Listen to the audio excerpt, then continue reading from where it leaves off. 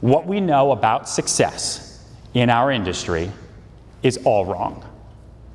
What we know about building our business successfully post COVID now has completely changed.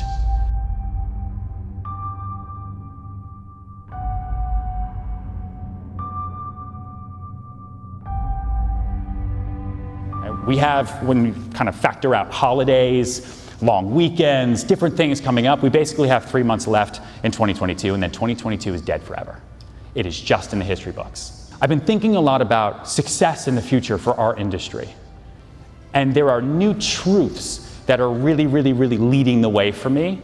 Right? There's new information that are really dictating how I'm moving forward in my career with my agents and my business that I, that I want to give to you guys, and I haven't told anyone else this stuff.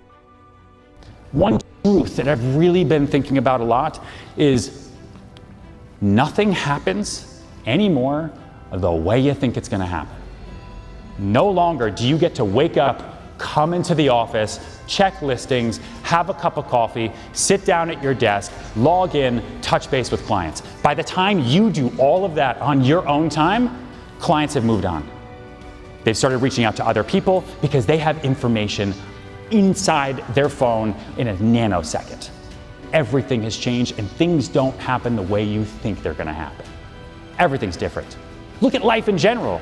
Like, we're supposed to go to school and then go to college and university and then get a job and then take on debt and then get a car. For example, I, have just finished building a house. You know, bought this townhouse in Brooklyn. I was going to renovate it for a year. Okay, I was going to put some money into it, make it single family. It took me four years. Okay, and four times the price. Never renovate anything in New York City ever. I had the best contractors, the best architects. I'm in the real estate business. I sell people townhouses all day long. I tell them what to do. Obviously, I know what I'm doing. Went a little bit overboard with the budget, but whatevs. Then, end of last summer, one night it starts raining. Hey, starts raining a little bit. It rains all the time. Six floors, 8,000 square feet. The house is perfect. A little rain's not going to mess it up. I think. I go into the backyard, and it's been like 40 minutes since the rain started. I go into the backyard, and the backyard um, has become a pool. Well, water's not draining. I didn't even think about this. This might be a problem. I know what to do. So I go back into the house. I run to the front. You know what I do? I get a broom. Okay? I'm gonna broom the water away from the house and I'm gonna protect the house and everything's gonna be fine. I have drainage, everything's gonna be okay. So I'm out there, I'm sweating in the middle of this hurricane. Everyone else is like hunkering down and I'm out there and I'm like sweeping water, okay? And then I hear a crash. I'm like, that's not great. That's not great. I go downstairs into the cellar, ceiling's gone. What in the God's, I don't even know what to do. I go upstairs. The water now is not coming in through the doors, which is where I put all of our towels. We, we, we had no towels anymore. So all the towels going to the door. The water's now coming in under the baseboard. I'd never been in a flood before. I had no idea what to do. Complete shit show. No one can help me. And the lower two levels of the house get completely destroyed, gone. Complete loss, right? And the rain doesn't stop for three days. Fast forward 10 days later, New York got hit by a second hurricane that was even worse whole house refloods. Turns out the drains I had were not built for hurricanes. Things don't happen the way we think they're gonna happen. Do not be the person out there with a broom, okay? Today, to be successful, we can no longer be reactive to the market. We can no longer be reactive to leads. We can no longer be reactive to building our brand and building our business. I'm not going to be reactive to anything. Anyone calls me yelling at me, any deal dies, any of that, that's what's supposed to happen. Because things don't happen the way we think they're going to happen. And it's okay. Deals die, great. That's the job. Be proactive and focus on success. Set your goals every single year.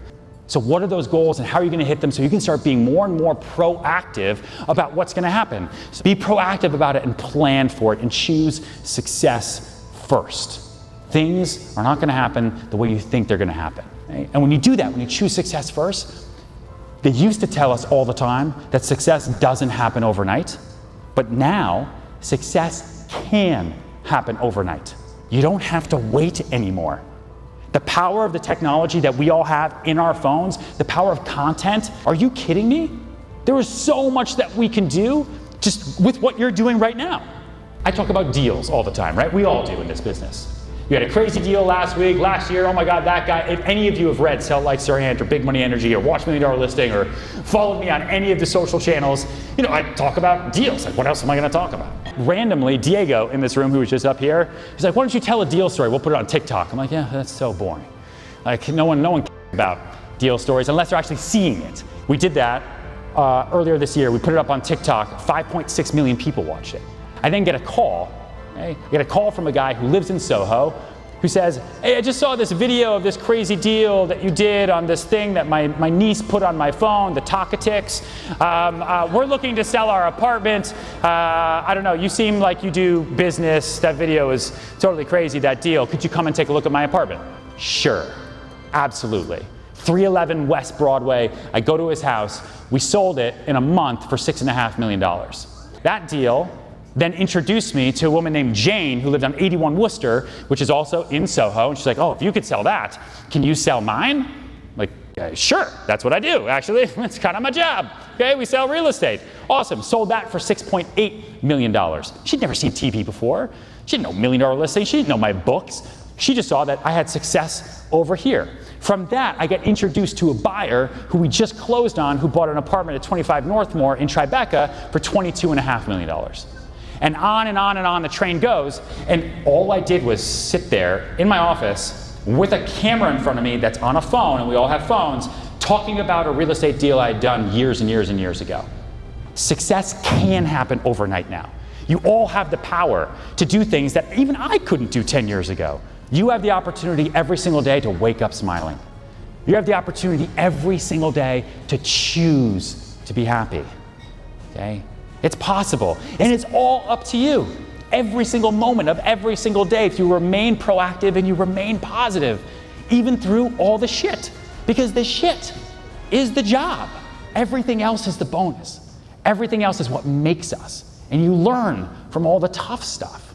One of the most important truths, I think, and seeing all of your faces in this room, uh, I think it's a really, really, really big one, is people equal profits. You've heard people say that your net worth, right, is your net wealth. It is more true today than it has ever been in the history of time. You have to use each other and you have to talk and you have to put yourself out there as an amazing opportunist in this business. And there are no lone millionaires. Doesn't exist. Your personal brand, as you focus on that and as you expand, that's your biggest lead generator. That is what will carry you through, right? That is what people are going to be calling on and the minute you wake up and you have leads in your inbox and you realize that you are not just a salesperson, you're not just a broker, but you are actually a brand, everything changes. The way you operate changes. The way you eat your breakfast changes. The way you think about your life changes. So, part of your work going forward from here, if there's anything that I, I leave you with, it's that everyone in this room, you should all talk to each other. This is the greatest room of potential deals I have seen in a really, really, really long time. Except you stay in your bubbles and you think everyone's competitive with one another. People equal profits. Another truth that's huge is it used to be you had to do what you could do step by step. Everything is wrong, everything's different. You have to start thinking bigger today. Today. A couple years ago, I decided I want to do nine figure deals. I don't know how I'm going to do it. I have no idea. But I believe I can do it. I don't know how I'm going to meet those people. I don't know how I'm ever going to get listings like that. I'm just going to figure it out. I will not fail and I will not sleep until I do a listing or a deal over $100 million a developer of ours that we'd worked with before when I started my, my company and kind of did everything, reached out to me when I started and said, Hey, would you like to take on this building? We trust you, we believe in you. Okay, great. But I knew they also had bigger things. The minute I signed on that project, I ran after them. Anything you do that's big, I want to do it. I'm your nine figure deal. I'm that guy. Put myself out there. Anything, putting myself out there as a billion dollar broker, as the hundred million dollar broker. I did the same thing years and years and years ago when I wanted to get into the million dollar price point. I'd never sold anything for over a million dollars. So how am I going to do it? I tell people I do it. You'll see in the Wall Street Journal I'm listing the most expensive home in the history of New York City for $250 million. From that same client, the process is real, and it's the power of positive energy and focusing on that foundation and dictating where you want to be in the future. It's a really, really, really important truth. Think bigger. Where do you want to get to? Write it out and get to there. Put yourself in those situations. They'll be uncomfortable for such a short period of time in the history of your life. It'll be so unfortunate if you don't do it. It's okay to put yourself in situations that are going to help you get better, help you get more. Final truth that really, really, really has been in my brain a lot that I want to kind of leave you with is it's supposed to be hard. This is supposed to be hard. I feel like we flip the script on ourselves a lot. You lose a deal, you lose a buyer, you didn't hit your goals, or you got it done, but you're not as happy with the year as you want it to be, or you're crushing it, but you should have crushed it more. This business is hard. But if you choose success, success will carry you forward. Everybody says if it was easy, everybody could do it. Yeah, that's fine. But what they've taught us over and over and over is that if you do the work, you put in the 10,000 hours, you will figure it out, everything will be okay. It could always be you. Maybe you can't. But you can make it so just knowing that it's gonna be hard. You are supposed to fail. This year, next year, you're gonna pitch the biggest listing you've ever gone after, and you're not gonna get it, and you're not gonna get it real hard. And it's gonna be real personal. You're gonna have a contract fall through, the deposit's just not gonna show up. You're not gonna understand. And the mom was your buyer, and you're gonna be like, Mom, what's up? And she won't talk to you anymore. It's supposed to be hard. Our mental mindset is what carries us forward.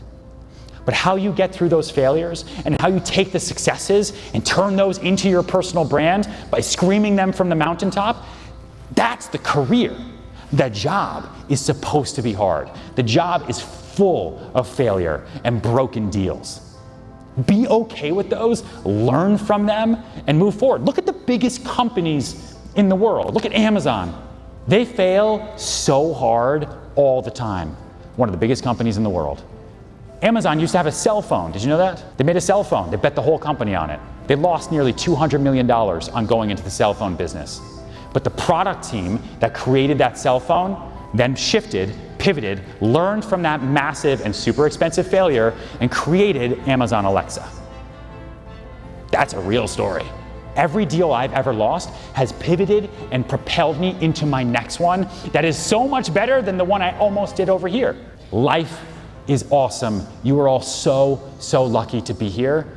Let's go have the greatest fall market we have ever known, and let's take this year to the stratosphere and then blow the shit out of 2023. Thank you so much for having me.